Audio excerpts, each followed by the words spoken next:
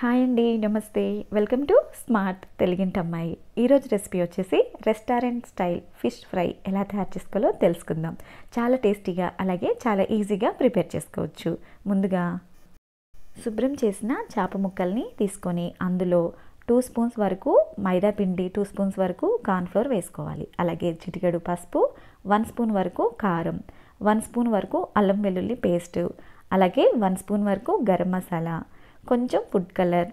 రుచికి సరిపడా ఉప్పు అలాగే టేస్ట్ కోసం నిమ్మరసాన్ని యాడ్ చేసుకోవాలి.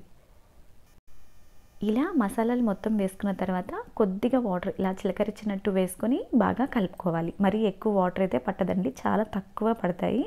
ఇలా ఈ మసాలా మొత్తం ఈ ఫిష్కి పట్టేలాగా ఇలా కలుపుకున్న తర్వాత ఇప్పుడు వన్ అవర్ వరకు ఫ్రిడ్జ్లో అయినా పెట్టుకోవచ్చు లేదంటే బయట కూడా పెట్టచ్చు.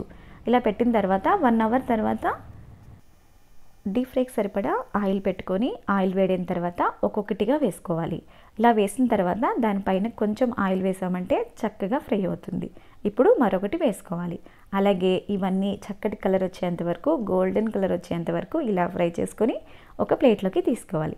అంతేనండి ఎంతో టేస్టీ ఫిష్ ఫ్రై రెడీ. మీకు నచ్చితే తప్పకుండా ట్రై చేసి మీకు ఏ విధంగా వచ్చిందో కామెంట్ బాక్స్లో తెలియచేయండి. Please like share comment subscribe my channel. Thank you for watching. మరో మంచి రెసిపీతో మీ ముందుకు వచ్చేస్తా. Okay friends